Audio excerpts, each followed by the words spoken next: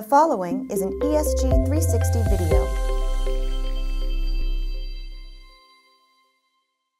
Well, Doug, it's 2018 and everyone's done their predictions, write ups. You've done some, I've done some.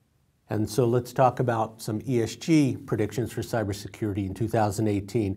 And the first one I want to talk about, I've labeled cloud computing chaos. It should have theme music. Yeah. And it's an area that you really cover. And I just think there's a lot of activity, there'll be a lot of security issues.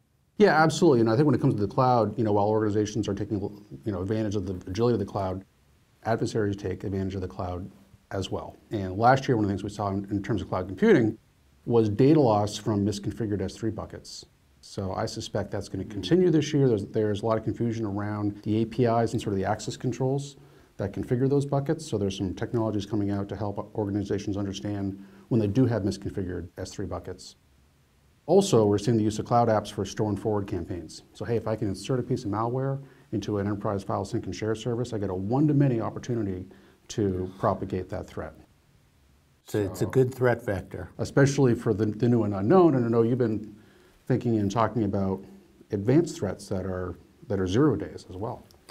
Yeah, and uh, it's early January, and we've already seen some major, major vulnerabilities, Yeah. like the things that are going on with the Intel CPU. No kidding. We've seen some things with uh, the Dell EMC support um, software. Right. We've seen some things with Western Digital uh, consumer uh, storage drives. And uh, we're in a period where we're writing a lot of software, and unfortunately, a lot of it's not very good software, or uh, these kinds of vulnerabilities will happen. So I think the whole uh, notion of vulnerability scanning, patch management, configuration, scanning and configuration changes, that whole component of risk management is really something that it's incumbent upon organizations to do a good job on because they're going to be uh, adding all this new software, and a lot of that software is buggy. A lot of the open source software is buggy. There's a lot of it out there. Yeah. So those are all, you know, sort of established, somewhat tried and true cybersecurity technologies that aren't always properly implemented, to your point. But what's what's new on the horizon? What are some sort of newer, more advanced technologies that are maybe a little more sophisticated, a little more adept at detecting these new and unknown vulnerabilities and threats? Well, so I've written a lot about uh, something I'm calling advanced prevention. So we've, we've always had prevention controls. We have firewalls that block certain network communications. We have AV that blocks files and things. But what we have, uh, what we've seen over the last few years is a lot more of these kinds of technologies. So microsegmentation, for example. The ability to easily or more easily segment your network into uh, much smaller, um, much smaller networks therefore uh, decreasing the attack surface. It's sort of a least privilege model applied to network infrastructure. Absolutely, infrastructure. yeah. Um, we see uh, machine learning. So machine learning on, on uh, endpoints, doing a better job of threat detection and prevention. Machine learning to pick up anomalies. We see the software-defined perimeter, once again, restricting that, uh, that communications path between user and device and application, not even network. So I'm looking for a lot more of that. I, I mean, we, we, we're doing things for detection, um, but detection's tougher. Detection means analyzing things. And so if we can do more on the top of it, uh, uh, just to prevent things from happening, I think that's the way we'll go. Prevent first, reduce attack surface area, no things are going to get through, then you have to detect and respond afterwards. And then you can focus your detection and response, and Yeah. that's, uh, that's easier to do then. Sure. So, you know, the buyer in 2018 is still going to be barraged with a bunch of buzzwords and technologies and product offerings, and there's a lot of You think? there's a lot of goodness in there. Um, what happens from your perspective in the industry moving forward here? Do we finally start to see some consolidation? Is do we do we start to rationalize product sets, product categories? Um, to some extent, I mean, we- we'll certainly see, or we should see, a lot of M and A activity because you, you've got some very big companies. They've got the stock market's good. They've got a lot of resources, so they should fill in some holes. But I think what we'll see a lot of is commercial SOAPA offerings. This is kind of an end-to-end architecture, but instead of me putting it together myself, I'm going to buy a proprietary version from a vendor.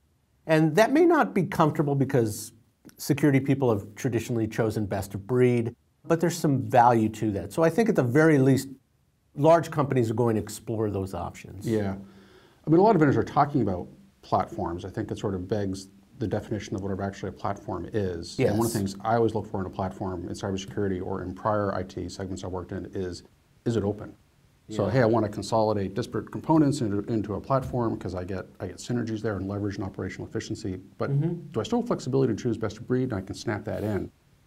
And it's, we've been a little short on standards in cybersecurity. Yeah. Sort of in SIEM, we had you know things like CEF and LEEF to be able to propagate alerts into a SIEM. Mm-hmm. Um, but hopefully, as part you know, as we see things like SOAPA architectures get standardized, that we have more things like op- OpenDXL as, as an example that can be standards based and allows companies to sort of snap in their best of breed and they get the best of both worlds. Yeah, and you see some of that. Um, I think that the way that has to happen is that the um, the large vendors kind of push the agenda and the market follows. I don't think all the vendors will get together and, uh, as much as I'd like to see it, and collaborate on some open standards. But I think you, see this with um, companies like McAfee with OpenDXL. You see it with um, Splunk, just kind of centers of gravity for that. You bet. What else is on your radar? What's sort of top of mind for you this year? Well, I I mean, it's, it's clear that there aren't enough cybersecurity professionals to go around. So we, we've been looking at um, the transition from do-it-yourself to services. And so we think that managed services will grow quite a bit. I mean, I I just wrote a blog about endpoint managed services. And endpoint used to be the one thing that you would do yourself because it was kind of a turnkey product and you'd hand it off to IT ops. No longer. It's very complex. It's a defense in depth architecture. So I think you'll see CISOs with a, a portfolio mindset of what can I do myself? What do I need help on? And where is there sort of a hybrid where I just need staff augmentation? Sure. How about you? What's, uh, what's cooking in Doug World? Yeah. So on my mind is this notion that um, so many companies now are software companies. Even if you're not really an independent software vendor, you're you're often writing your own code, and code is becoming infrastructure. And the way code is managed is different now. So we talk about the DevOps DevOps culture of getting the dev team and the ops team together, and the continuous integration and continuous delivery methodology. That's really the backbone of DevOps. I want to see security integrated into that um, pipeline more. And the more we can integrate security processes and technologies in the dev environment, writing better code, to your point earlier, in the test environment, so you're ringing out vulnerabilities, software vulnerabilities, and configuration vulnerabilities, and then in production, you're doing auditing and monitoring. Everybody's going to be able to increase, you know, improve their security posture by baking in security. So there's been a little bit of snarkiness in the market around the term of DevSecOps. I appreciate that, but I, I think it's a rallying cry to really, you know, bring security closer into the development process and then the delivery and production process. So do you think that that's happening or do you, do you want that to happen? well, our research both? Well, both. Uh, but our research tells us that it is starting to happen. You know, we did a study this this last year on, on, on hybrid cloud security. We asked about DevOps and DevSecOps, and we have 40% of the respondents said they are looking at the security use cases behind DevOps. Hmm. It's encouraging. Well, let's hope that happens in 2018, and we'll be here to predict things as they happen. Absolutely. Well, happy New Year, Jon. Happy New Year.